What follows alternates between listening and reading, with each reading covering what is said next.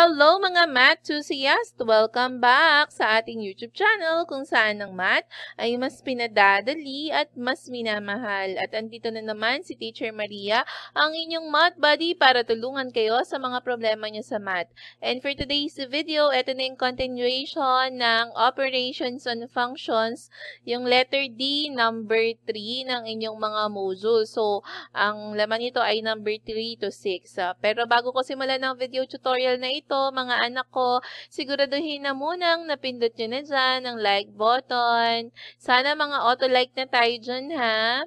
At syempre, kung bago ka pa lang sa aming YouTube channel, pindutin mo na rin dyan ang subscribe button at i-hit mo na rin ang notification bell para lagi kang maging updated sa mga videos na i-upload ko.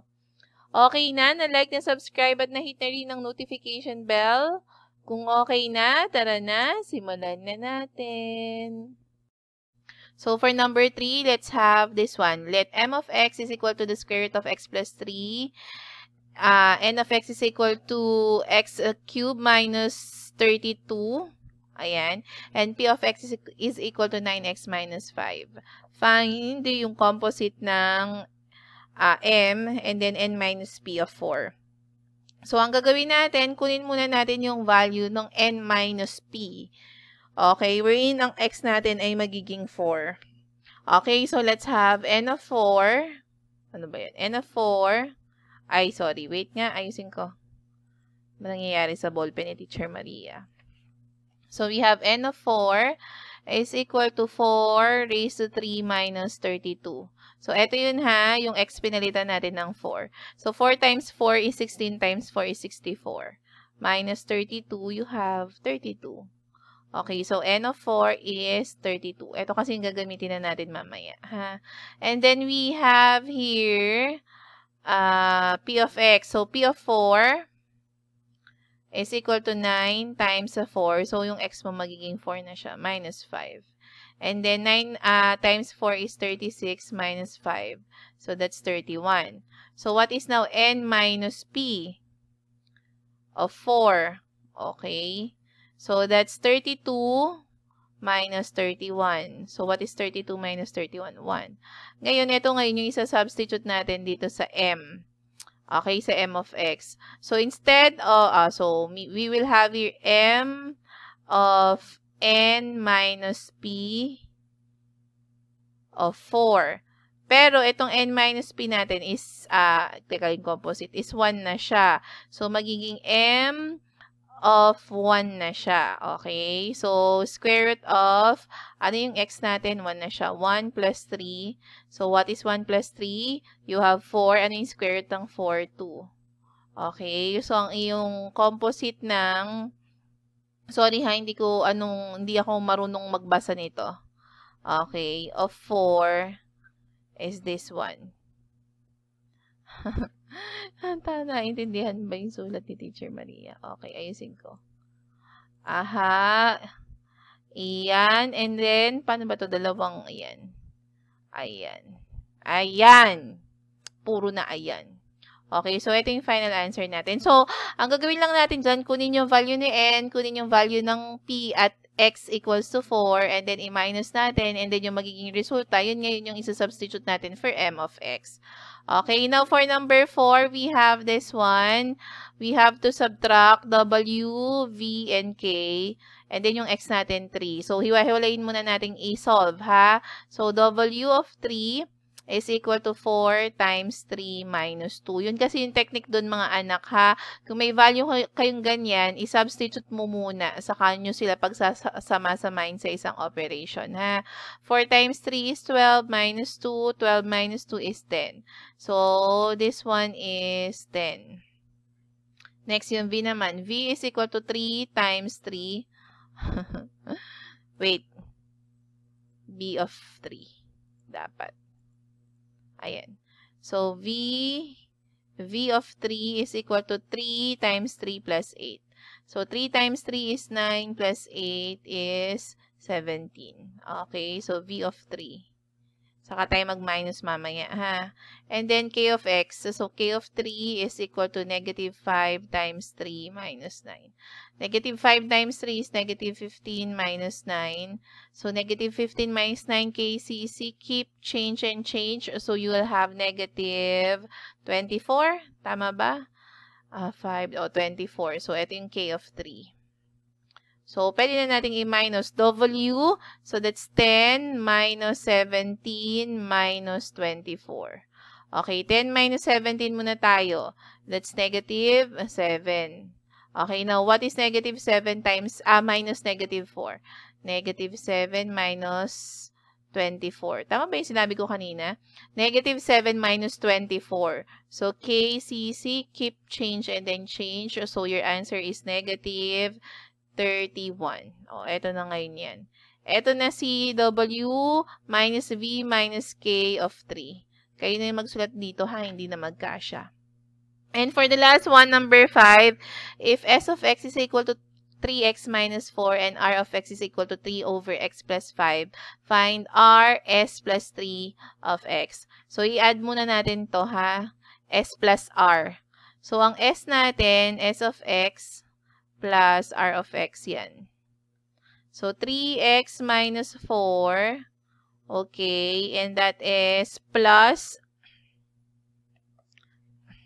Teka, teka, teka. Wait lang. Rational pala to.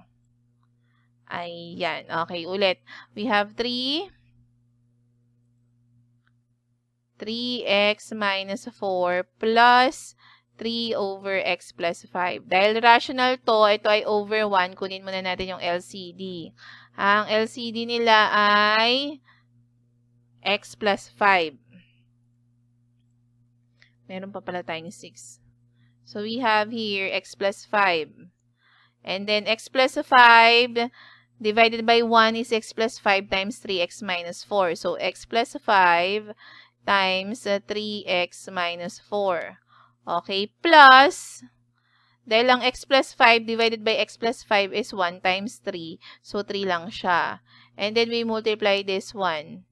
x times 3, that's, uh, x times 3x, that's 3x squared. 5 times 3x is 15x. 4 times negative 4. Oh, x times negative 4. Sorry, ano na ba to? Sorry, halas dos na kasi x times negative 4 is negative 4x. And then, 5 times negative 4 is negative 20.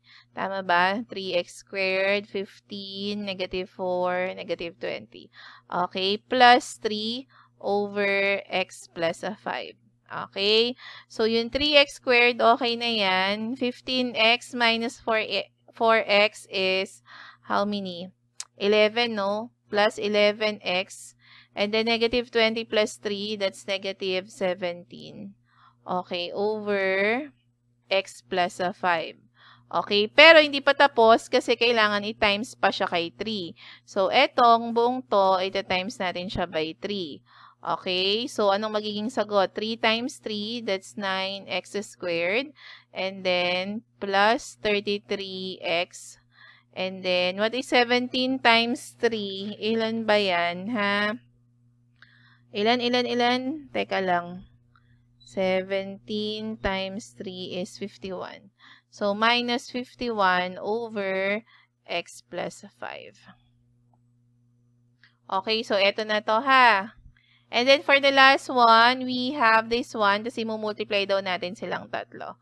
Okay? So, ito naman, sa multiplication naman, pwedeng mag, ano ha, mag uh, magkabalik-baliktad yung factors natin ha kasi mas magandang unahin ito saka ito bago i-multiply dito. So let's have here 6x plus 2 times x minus 3. Tapos times 3x over 2. So unahin natin to. This is how many? 6x squared plus 2x. Ilan to? Negative 18x 6 times negative 3. And then you have negative 6. Okay? And then, times 3x over 2. Combine lang natin si yung gitna. Ito. So, this is 2 minus 18. That's negative 16x minus 6. And then, saka natin siya ito times kay 3x over 2. O, distribute lang ha. 6 times 3 is how many?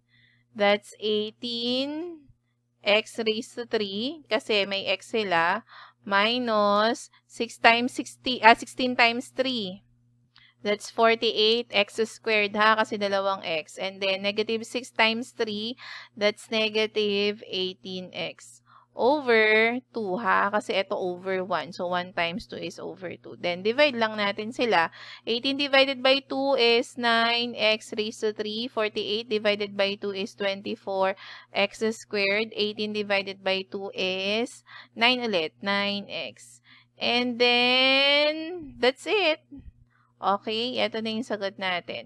Ngayon, kung natutunan mo ang video na ito at nagustuhan mo dahil natulungan kita, please i-comment yan sa ating comment section ha, mga anak. Please leave a comment ha, kahit thank you, kahit smiley. Basta mag-iwan ng comment para maapang video na ito at makita din naman siya ng iba. And baka gusto nyo tulungan yung mga classmates ninyo na nahihirapan at nababaliw na rin sa math, ipasa nyo tong video na ito. Okay, and please follow, follow our Facebook page, Love Math TV. Okay? Bisitahin mo ako dyan. At laging tandaan, let's spread the love of math. Thank you and bye!